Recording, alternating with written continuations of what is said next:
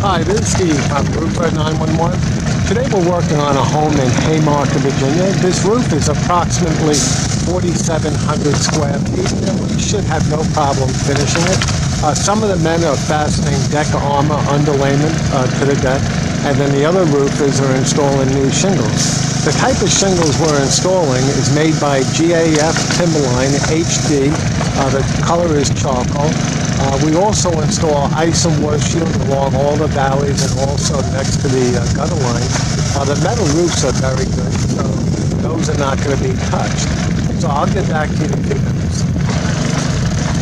Okay, the front roof has already been completed. Uh, we're just getting ready to finish up the uh, upper roof in the back. Uh, the lower roof, we fully adhere the ice and water shield to the plywood along all the gutter line. Uh, the men are now in the process of fastening new felt paper into place. Over here, we're installing new drip edge right along the eaves. Up against the wall where the roof and the wall meet, we removed and replaced the old flashing. Uh, so very soon we're going to be installing new shingles here as well. So once everything is done with the roofing, then we're going to install new cap shingles along the hips, and then also we're going to install new ridge vents right across the top.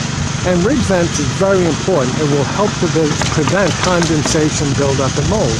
Now, once the, um, the roof is all completed, then we're going to sweep the grounds with large magnets to make sure that we pick up any loose nails, screws, or staples.